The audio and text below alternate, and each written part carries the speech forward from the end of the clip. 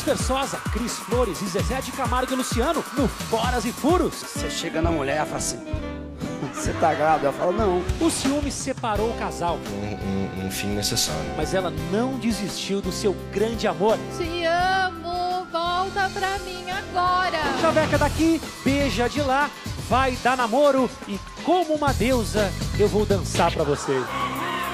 Nesse sábado, 5 da tarde, o melhor do Brasil.